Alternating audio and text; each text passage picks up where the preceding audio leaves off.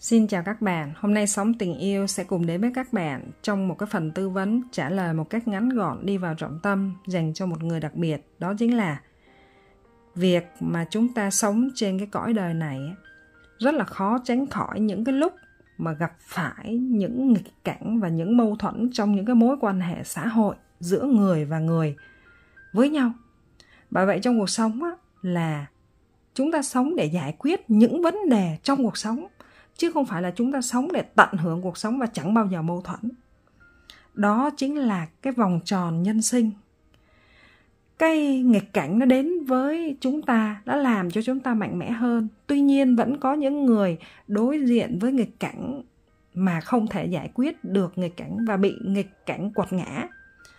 Thế nên là có một số người rơi xuống biển thì trở thành người biết bơi.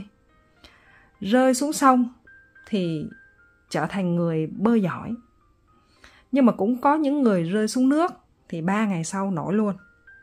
Tùy vào cái thái độ sống, tùy vào cách tiếp nhận nghịch cảnh mà mỗi người chúng ta đều có cái cách đối ứng, cái cách xử trí, cái cách mà đối đầu, đối diện với cái việc không thuận lòng, không như ý của chúng ta ra sao.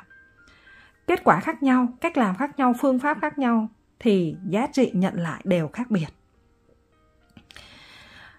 Nhưng mà có một vài kẻ yếu á, luôn thù dai, thù vặt, nhỏ nhặt, chấp ngã, một lòng muốn báo thù những người mà đã làm cho họ bị thiệt hại, làm tổn hại. Và vô tình dần dần họ cũng biến mình có một cái lối sống giống như kẻ ác nhưng mà có những cái kiểu người mạnh mẽ, họ có thể thấy được cái nguyên nhân phía sau của sự việc đó là gì. Và họ thật lòng có thể tha thứ, bao dung, nâng đỡ người khác từ trong thiện tâm, từ trong suy nghĩ của chính họ. Còn có những người trí tuệ, họ xem nhẹ mọi thứ, tiền tài, vật chất, mọi sự ràng buộc, duyên nợ tình yêu, tình cảm, họ vẫn sống nhưng họ không có bị lệ thuộc vào tất cả những thứ đó. Họ không biến mình trở thành lô lệ và họ không yêu thích cái gì quá để biến mình trở thành phụ thuộc vào cái điều đó. Nên họ chuyên tâm vào bản thân họ để tu dưỡng tâm hồn và con người của họ. Họ sống một cách tự tại và không bị trói buộc bởi quá nhiều thứ rắc rối. Thế nên là tôi chia sẻ với các bạn như thế này. Kẻ yếu á, thì thù hận kẻ mạnh á, thì bao dung. Người trí tuệ thì không bận tâm có nghĩa là không thèm để tâm vào những cái điều gọi là báo thù hay là tha thứ. Người trí tuệ cao hơn một bậc thế nên là chúng ta cũng phải hiểu như thế này. Ba cái lập trường trong cái việc đối nhân xử thế, đồng thời nó cũng tạo ra ba tầng cảnh giới cho kiếp người, cho đời người của chúng ta đó.